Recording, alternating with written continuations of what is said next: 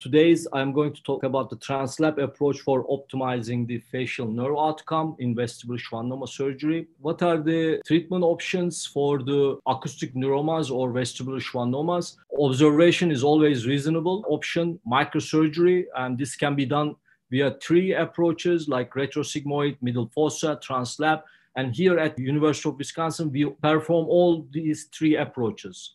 And the radiation treatment various radiation treatments, and it's something so-called hybrid treatment, subtotal resection followed by radiation. This is something I don't like doing it upfront because I don't like going there with the idea that I'm going to remove subtotally without trying the gross total or near total resection and then radiate and turn the acute issue in a chronic disease. And the goal of the vestibular schwannoma surgery, maximal safe resection with aim of gross total resection preservation of the normal facial function. And if hearing is present, preserving the hearing. And while you are doing this, causing minimal postoperative morbidity.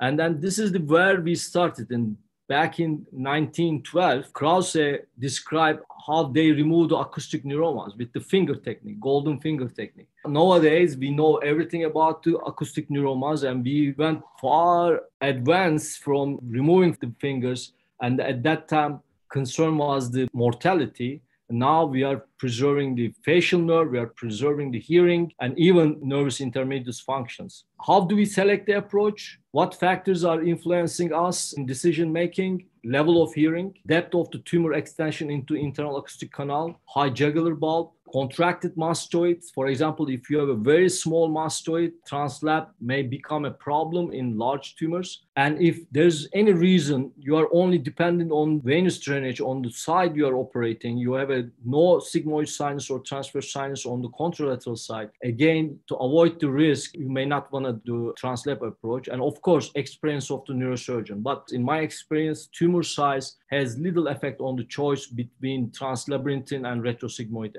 approaches.